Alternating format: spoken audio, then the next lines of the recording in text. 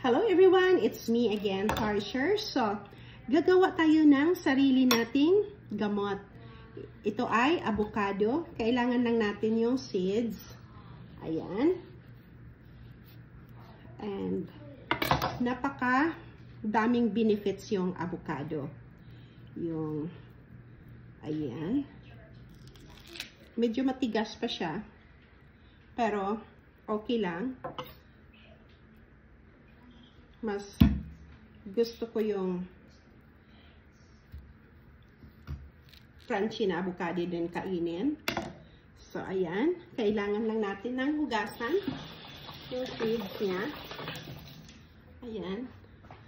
And then, i-dry natin. So, ayan. Hatiin ko lang siya ng half sa gitna para mas madali siyang gadgarin. So, ito ang kailangan ko. Pwede nyo rin i-chops, pero mas gusto ko ito dahil yung gamit ko na bottle ay maliit. So, ganyan lang siya. Oh. Medyo mahirap. Yan. Kung alin ang mas gusto nyo na madali, ito, proven ko na to dahil ginagamit ko to mismo sa sarili ko bago ko ginawa ng video. At saka, kung mga masakit yung mga tuhod nyo, balikat, kamay dahil sa overwork, or lalo na yung trabaho na nakatayo buong araw, maganda ito sa gabi. Mahimbing yung tulog nyo. Kailangan ka lang talaga mag-effort. Kasi, nga, paggawa nito. Yan. So, oops, dahan-dahan lang din yung paggawa. Ayan.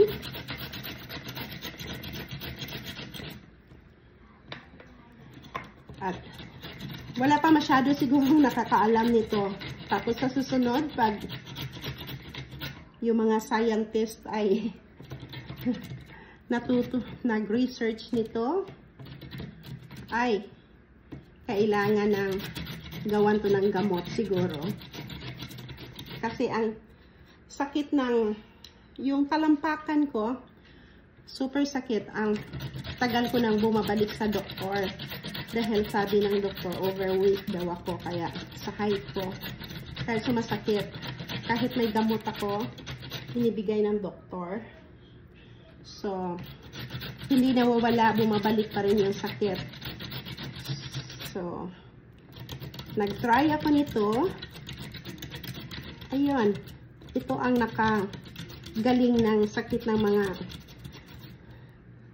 lalo na dito sa mga daliri dahil sa trabaho nga trabaho sa bahay pabalik-balik diba makarelate yan yung mga nanay. Ang trabaho natin ay walang katapusan sa bahay. So, ayan siya. Tapos, ito yung gamitin kong lalagyan, plastic. So, ngayon, tingnan nyo.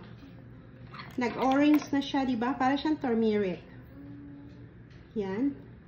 Kaya ako ginawang ganyan, hindi ko chinap dahil maliit nga yung bottle ko. Nasa sa inyo yun kung anong klaseng bottle. Ako kasi mas gusto ko to dahil madaling gamitin. I-spray mo lang. So, yan. Ilagay lang natin siya lahat. Diyan. At, gamitin mo siya anytime. Um, pwede mong lagyan ng alcohol or oil. Ako noon, ginamit ko ay oil. Yung BB oil lang. Pwede kang gumawa ng oil ng galing sa niyog. Lalo na sa Pilipinas, maraming niyog. So, madali lang gumawa noong coconut oil. Yung panghaplas ba? Yung lana. Lana ang tawag yan sa amin sa Bisaya. So, yan. Tingnan mo, ang ano ng avocado orange ang, pag natagalan na siya, yung seeds niya, naging orange. Para siyang turmeric. Ayan. So,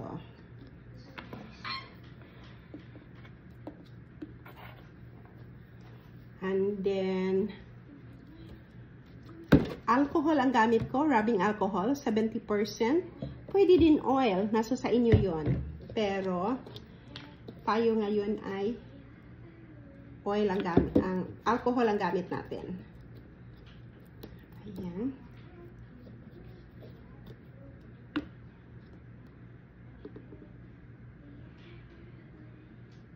Yan siya. Napakadali lang yung gawin at marami pang benefits to.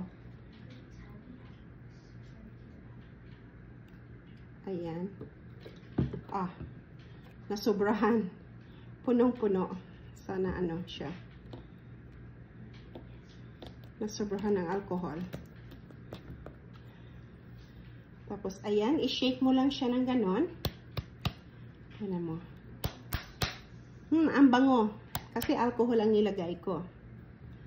Kaya, ayan. Shake-shake lang siya. So, ayan. Alcohol ito. At saka, may isang BB oil. So, bali dalawa ang ginawa ko. Isang BB oil at saka isang alcohol. So, ayan. Kailangan lang siyang um, itabi mo ng 4 days. After 4 days, so you can use it. 4 to 5 days. So, isang oil at saka isang alcohol. Subukan nyo. Wala, ano pa to siya? Talagang organic, walang chemicals. Thank you so much for watching. See you in our next video. Bye for now.